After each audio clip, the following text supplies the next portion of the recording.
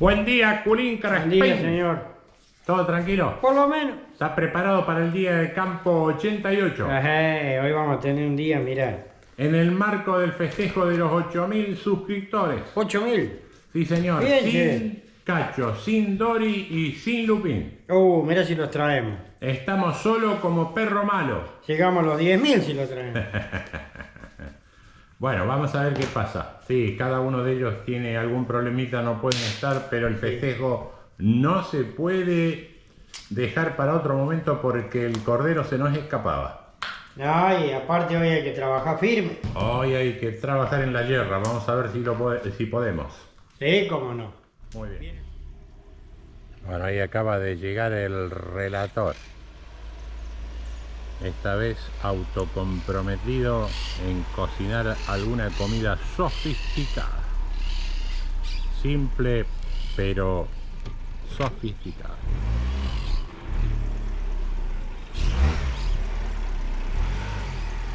Ahí está. Cuando le toca cocinar, estaciona de culata y se baja pateando puertas. Buen día, relator. Buen día, director. Buen día, Carlos. ¿Todo tranquilo? Todo tranquilo, todo Muy bien. bien, muy bien. Estamos a sus órdenes hoy. ¡Apa! Centímetro y medio. Momentito, ¿cuánto dijo? Eh, uno y medio por uno y medio. Uno y Perfecto. medio por uno y medio. O sea, acá trabajamos medidas Cubitos. milimétricas. Con cubitos. Nada de Porque- medidas inglesas. No, no, desde luego. No, acá la pulgada no existe. Ni la milla tampoco. Eh, vos sabés que esto que vamos a intentar hacer, por empezar, en la, en la mm, versión del puchero hubo dos personas. Una dijo, dijo que las verduras y la carne se cocinan en la misma cacerola. No, para mí es errores. No, bueno, bueno, hay opiniones diversas, porque él dice que las verduras eh, adquieren el sabor de la carne. Y sí, mi vieja cuando nosotros éramos chicos lo hacía en una cacerola, Claro. en una. Son gustos y gustos. Va, Pero las verduras se llenan de grasa. ahí está, una de mis hijas me dijo eso, ¿no? Dice, las verduras se, se llenan mucho de grasa. Bueno, bueno, cada cual lo hace como le parece o como quiere. Eh, y otra persona dijo que el, eh, el pecho y la falda es el mismo corte. Posiblemente, posiblemente, no lo sé. Eh, aprendimos algo nuevo. Eh, sí, lo único que te puedo decir es que el puchero es rico. Sí, El puchero es rico. sí, sí. A veces suele ser medio pesadito, pero al mediodía no Bueno, lo veo. o sea, y esto que vamos a intentar hacer hoy, que se llama revuelto gramajo, es una comida típica de Argentina y hay varias leyendas sobre esto, que son las siguientes. Eh, una de las versiones dice, una de las versiones dice, permiso.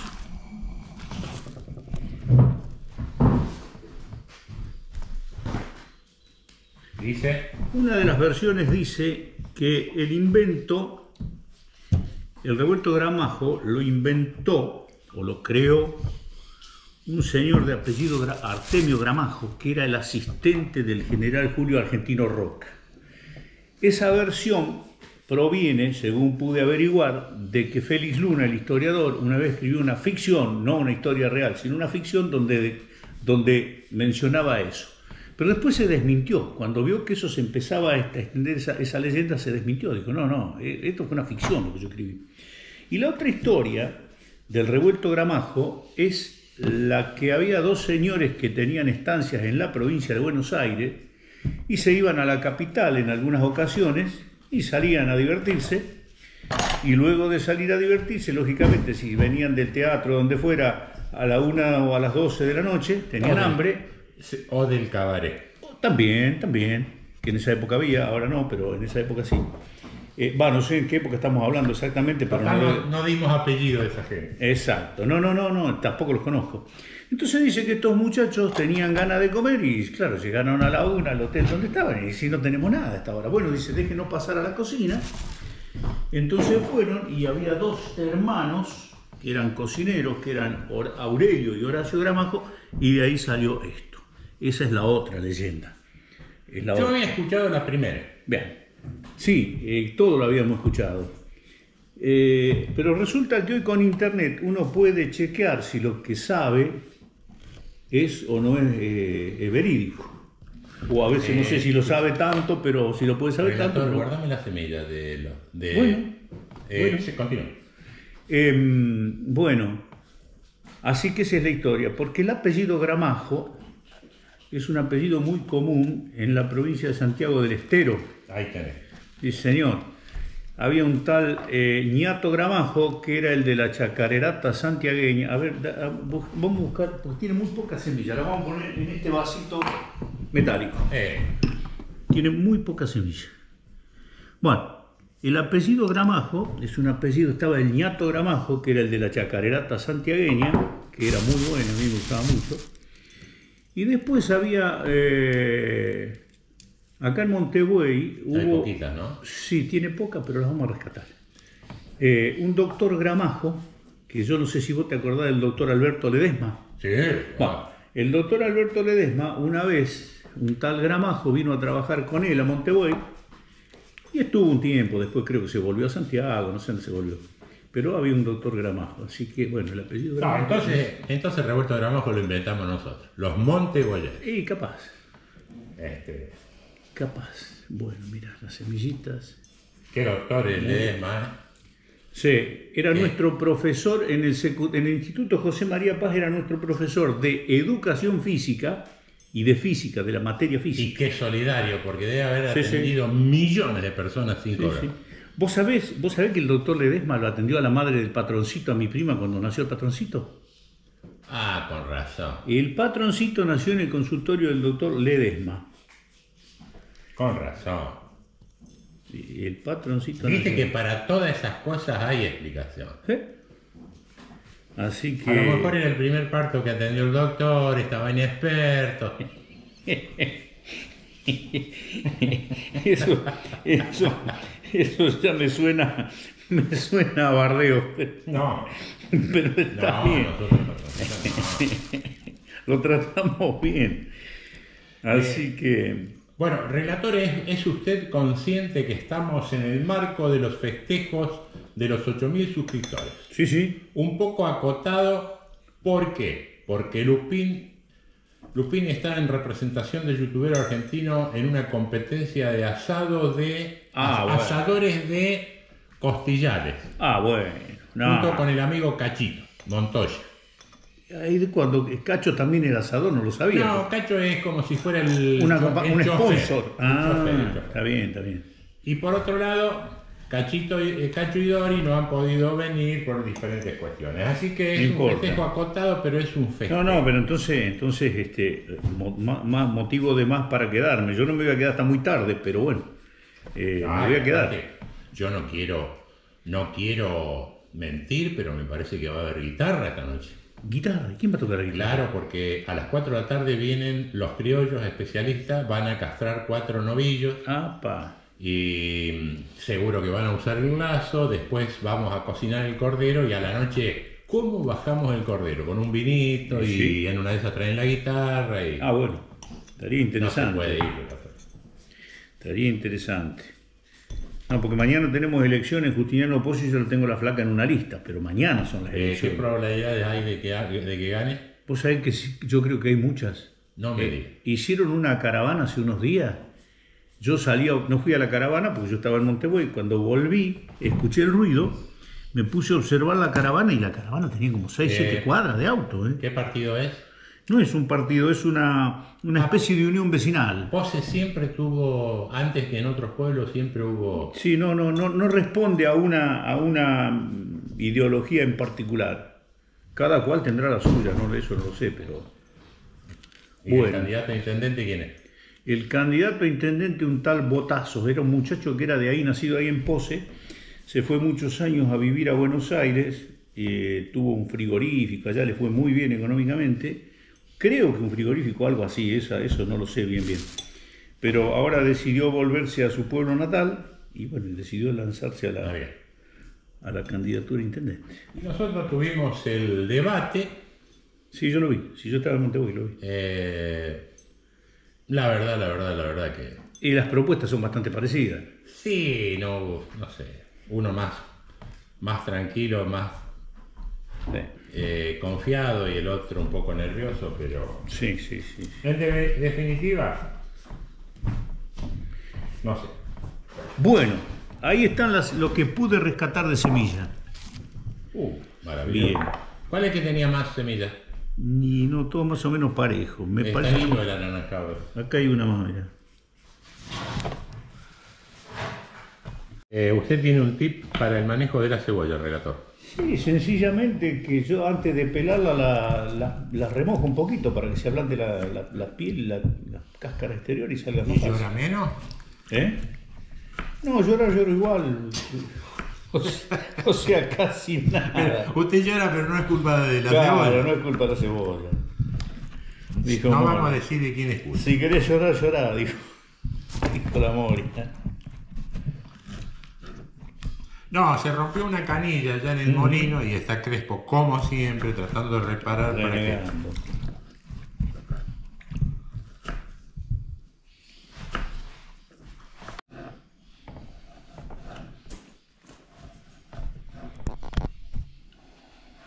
El tema es que la papa, eh, si uno la corta como dice la receta esta, tiene que renegar un montón porque hay que cortarlas finitas así, Ah, no, es mucho laburo. Es mucho laburo. Porque la papa se fría aparte. O sea, después se agrega cuando está el resto casi terminado.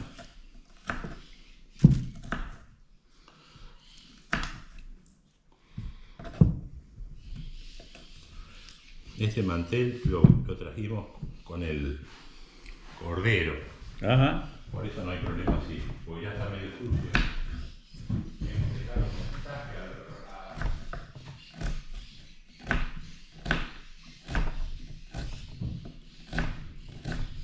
Le dejamos un mensaje a Piturro que traiga ¿Que traiga qué? su mantel. Ajá.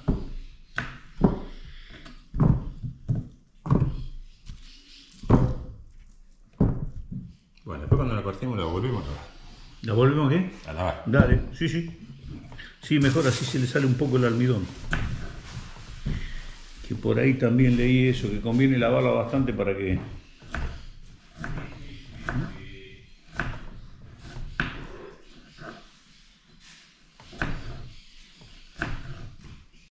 El tema el de- está deforme, el pimiento rojo este está deformado, Ah, sí.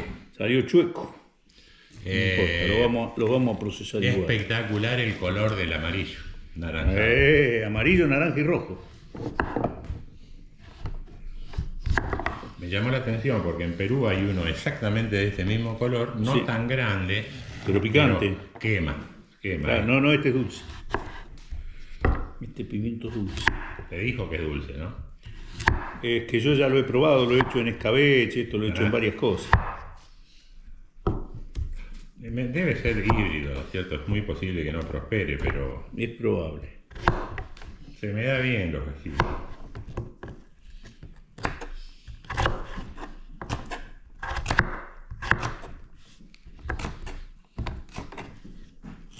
Si el patroncito viene a comer, Sí, sí, ya debe estar saliendo. Lo que pasa es que, ¿para qué vamos a mentir? Se debe haber eh, levantado diez y media. y capaz.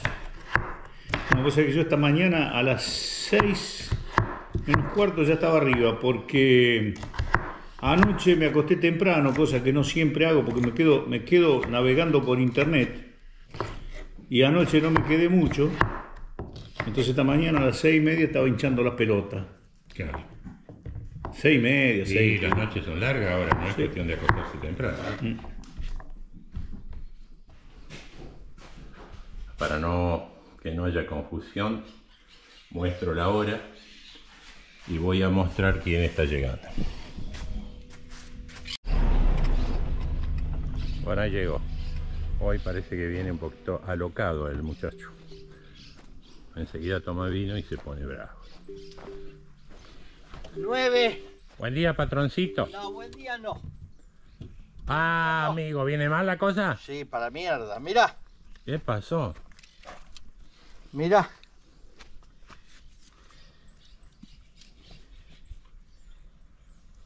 ¿Qué me quieres mostrar? A ver. Mira. Nueve. Nueve y cuarenta y siete. ¿Qué aparece acá, Daniel? 47? Mirá, 9 y 47. ¿Qué pasó? ¿Qué, qué ve ahí? Pará. bien. No sé, un fardito de algo y un vaso de vino. Un vaso de vino con dos bizcochos. Ah. 9 y o sea, yo decía un 47. fardito porque no O sea que viniste a tomar vino a la mañana temprano. Usted es de la Asociación Te vamos- Alcohólicos Conocidos. Te voy a no es de sacar tar- Alcohólico Anónimo. tarjeta ¿Te colorada. acordaste de la bobina de alambre? Se te va a cortar el alambre de allá, el Acá hay, acá hay. plástico, ¿eh? Se Acá hay. corta, ¿eh? Te quedan Bueno, hilos. eh, patroncito, yo corto porque ya rezongó demasiado hoy. Eh, ¿qué decía? Ahí va de vaca, ¿eh? No, bueno, pues ya está. No. Eh, ¿Querés de vaca? Papa, cebolla, De pimiento, cerdo hay que usar, de cerdo. jamón cocido, eh, pimiento, jamón cocido. ¿Trajiste la empanada? No, ¿Por qué? porque la iba a comer vos y yo no quiero porque tomás vino temprano. Escuché a alguien rezongar, Crespo. ¿Fuiste vos? No, yo lo sé Diego, Juan. ¿Y vos, Al? Yo sí, porque a las 9 y cuarto estabas tomando vino. ¿Cómo nueve y Escúchame, cuarto? cuando vaya la gente a castrar, no hay alcohol, ¿eh? No se lleva, no, no. No, eh, bueno, pero No, ¿quién, no. quién va a ser el No, ejemplo? borracho no queremos acá. El ejemplo sos vos. Ah, El ejemplo sos vos. Carlito, ¿trajiste la pistola? Mira, ¿dónde cayó ese hijo de puta? qué fuerte. Bueno, eh, ¿paramos con la rezongada corto? No, no, no, no, no, no. ¿Por qué tenés que parar? Bueno, y no sé. qué sé yo. Daniel, Mira, Juan, mostrale que trajimos Coca-Cola, mirá.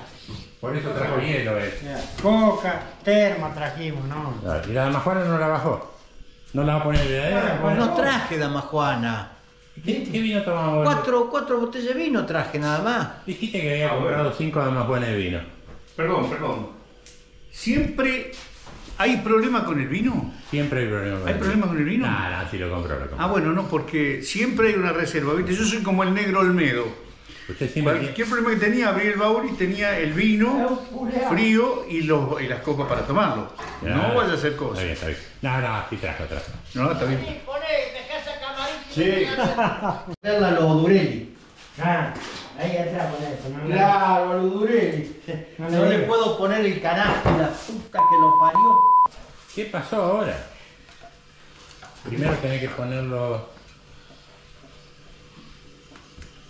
No, dos borrachos renegando con una dama buena. No, pero agarrarla bien, asegurarla. Ah, no, si antes eso.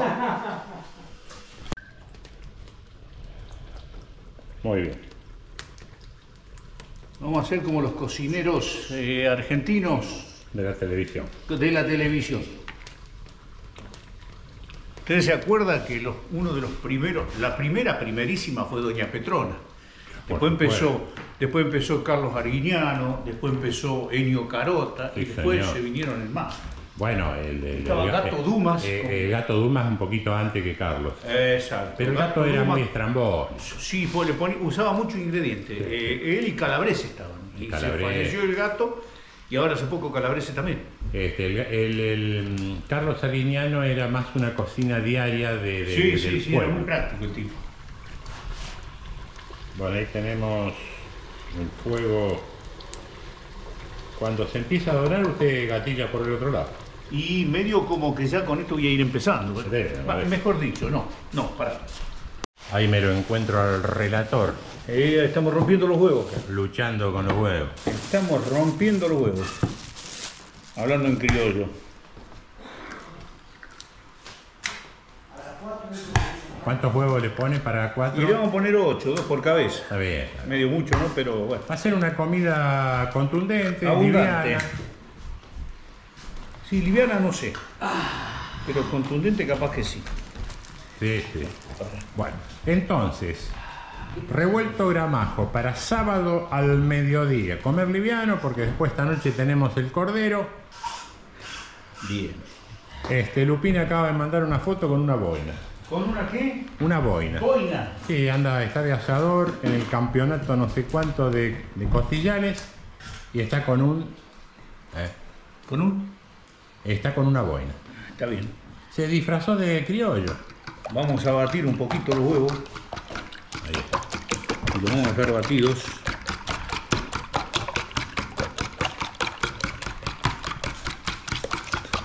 alguien de los que estamos acá le hace mal la pimienta? A nadie. ¿A nadie? Entonces le pongo pimienta.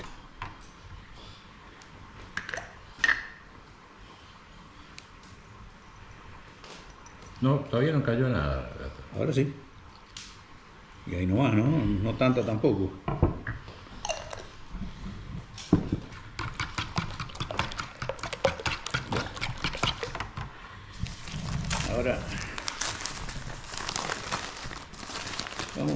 Bueno, ahí está. Jamón cocido. cortar un poquito jamón cocido de una conocida marca producida en Justiniano Pose. Ah, entonces bueno. Conocidísima marca. Entonces bueno. ¿Qué va a aportar Magret algo? Eh, No, no, no, no, no, sé, no, no, acá nadie aporta nada, ¿eh? Ah, No, no, no, no. Esto no es como- Esto el- no es No, comercial, señores. No, si quieren, si quieren sponsorizar, tienen que dirigirse por teléfono, por mail, por Facebook, por Instagram, por donde sea. O a señas. Pero hasta, hasta el momento.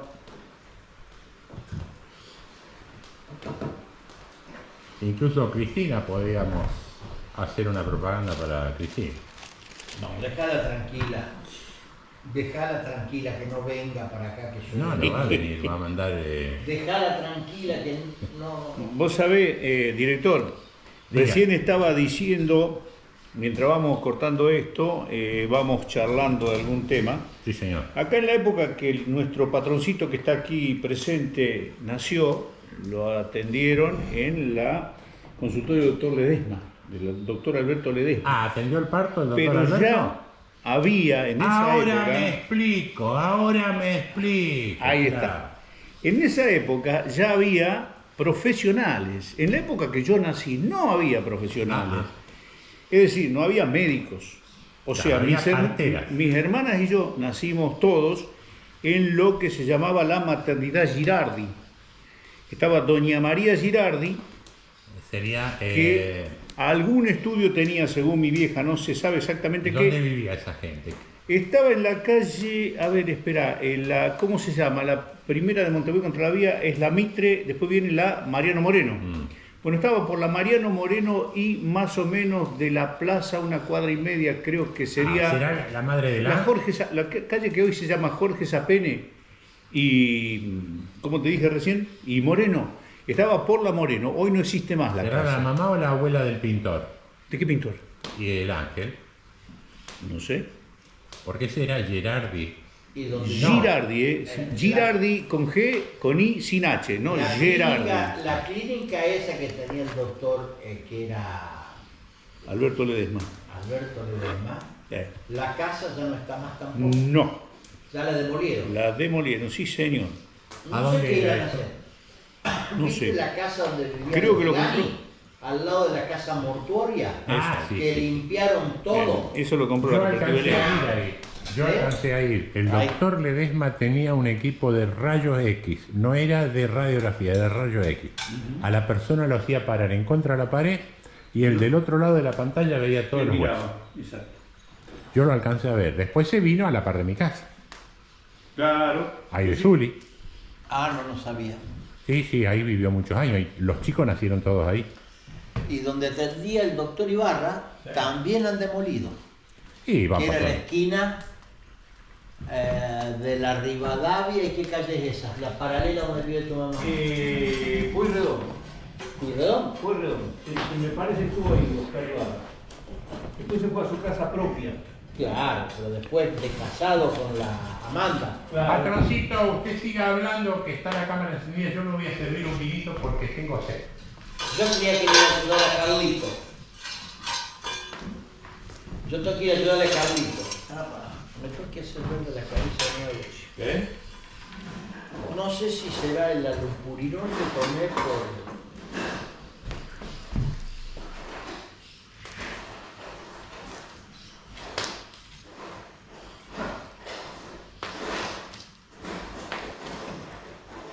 Y ahí va a ser el revuelto, Dani. Sí, señor. El primero y tres. Enfoca bien para que veas que cómo está caliente ese vino. Para un poco, que estoy Hay que retirarlo un poco porque las papas no van a estar y esto se va a contra mí quemar el aceite. Para un poco. Te va a quemar. ¿Qué pasa? Que el que estaba fresco ya lo tomaron. ¿Cómo chupa vino? Escuchame, Muchi, ¿por qué no enfocás para ver cómo, damos un segundo. cómo el humo acá nos entorpece la vida?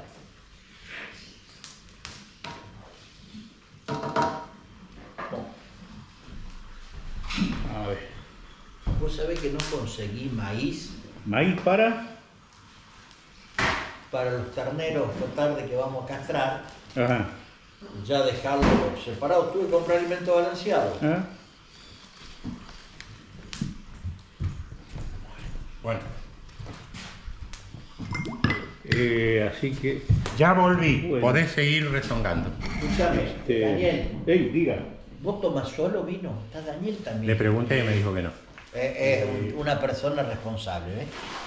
Una persona Es responsable. que mientras estamos en el proceso acá, ¿Y ahora vamos a tener Ah, que. Ese es otro material. Me pareció que no iba a alcanzar con ese, entonces agregué uno más. No sé, me parece. Oh, ¿Material radioactivo trajo? Eh, no, no. No, el radioactivo está en el baúl del auto. Este, este es normal nomás. El radioactivo, el Malbec radioactivo lo tengo allá. A ver. Patroncito, de esta tarde las tareas de los criollos es que castrar esos cuatro novillos y vacunar, marcar algo o no? Y dependiendo cómo andes de gana. Claro. Eh, ¿Están carentes de alguna vacuna esos bichos? De ninguna. ¿Y entonces? No hay problema. Hay que desparasitar. Ah, pero una cosa rara. ¿Por qué es rápida? Desparasitar por boca. En Para forma seis, oral no inyectable. Para 6, 7 vacas locas, ¿cuánto demora? Dos minutos. Por eso. Me parece que me quedé cortina con la cantidad de huevos. ¿Será? Va, Va a hacerlo como salga, Ponemos hasta que que no hay. renegue mucho. Ponemos hasta que hay. Para cuando vos termines, Muchi ya está en pedo. Ya está. Está, está frito. otro lado. ¿Alguna vez me viste? Ahí sonaba. ¿Quién golpeó? La viuda negra. El chavo tiene. Nada, mano tiene. ¿Qué pasa, doctor? ¿Ya está? Eh, bueno, ahora vamos a ver el proceso. Hay una probita previa para ver si está. Este, el cocinero tiene que probar su materia prima porque si no puede cometer un error que- del cual no es responsable. Oye, enchufate ahí, por favor. Eh, la gota es tener cristales de urato en, la- En las articulaciones. en las articulaciones. Para hacerte la sencilla, ¿sabés qué son los cristales de urato? No. Agarrás una botella de vidrio y la golpeás hasta triturar. Esto sirve, eh, claro, esto sirve. Hasta triturar el vidrio. Y eso lo tirás. Y eso lo tirás, los cristales de vidrio, lo tirás en las articulaciones. Entonces duele como la Ah, es infernal. Sí, Fernando. Normalmente se dice que son las articulaciones terminales. Dedo, gordo del pie, pero puede venir un poquito más arriba. O sea, puede no solamente de estar ahí, están en todas las articulaciones y te vuelve loco. Pero según la persona, ¿eh? a algunos le afecta bueno, el pero- codo, a otros los Bueno, gordos. pero ¿te acordás que estaba con esta rodilla que no caminaba? Bueno, pero no había dicho que te habían hecho los análisis y estaba todo bien. todo bien lo que es colesterol, el ácido, el colesterol. Tenía la uricemia o la uremia, para que serte más claro, alta. Ah, pero entonces, pero el médico no se dio cuenta si vos me dijiste que le llevaste los análisis. ¿Y se le pasó de largo? Bueno, yo te... Pero pará, vos podés tener una uremia alta, uricemia alta, Es cierto eso. Pero te no tenés Bueno, pero si vos vas sintomatología. con un dolor y le llevas los análisis... no, no, eh, bueno, a él no me haga hablar. Ahí está, son economistas, no son médicos. Filma todo, nueve y cuarto de la mañana estaba tomando vino. Ahora te voy a decir Charlie. ¿Por qué? ¿Por qué? Le decís Charlie. Así vos no me reventás Y, pero va a decir muchas veces Charlie. Es lo mismo. Ah, Es una depender. a ver la foto de Lupín. Está en el celular. Bueno, una vez que la cebolla está rehogada, que está doradita, se le agrega los pimientos de tres colores, amarillo, rojo y naranja.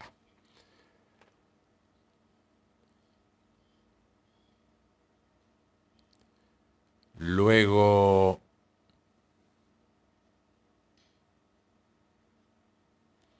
las arvejas, que en este caso es eh, una cajita. Ahora viene el momento en que se le agrega el jamón cocido cortado en trocitos.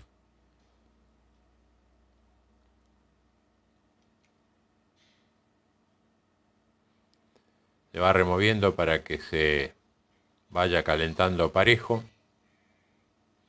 Ya tenemos el huevo batido preparado.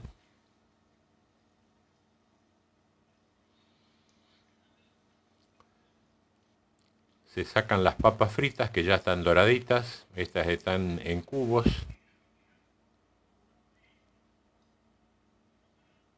Están bastante bien crocantes.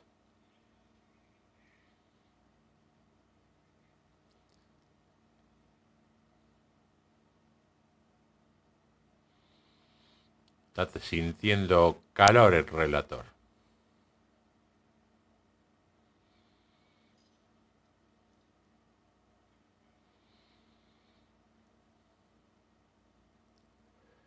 Mientras tanto, se dejan a un costado. Ahora sí agregamos el huevo batido, que en este caso serían dos huevos por persona. Lo mismo que papa, se calcula 400 gramos de papa cruda por persona. Con eso es suficiente. Se va moviendo para que coagule.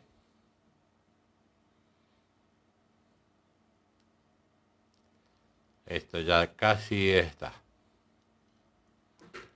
Esta es una voz en off porque tuvimos problema ahí con el audio.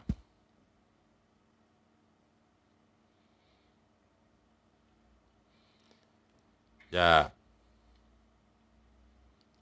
casi está, según el gusto, si lo quieren babé o lo quieren bien cocido.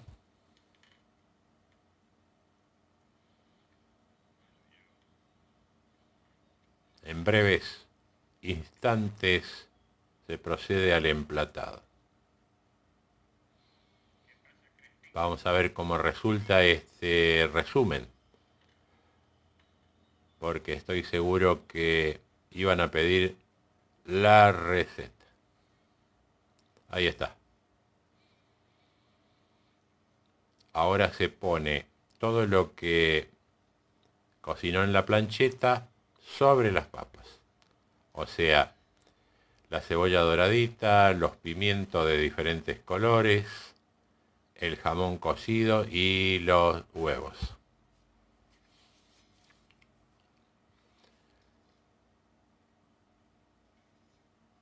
Hacía bastante calor y el relator estaba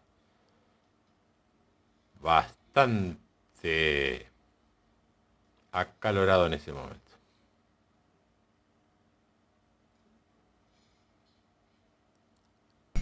Vos sabés que Bueno, ahí estamos, podemos observar el plato terminado de parte del relator. Cambio y fuera.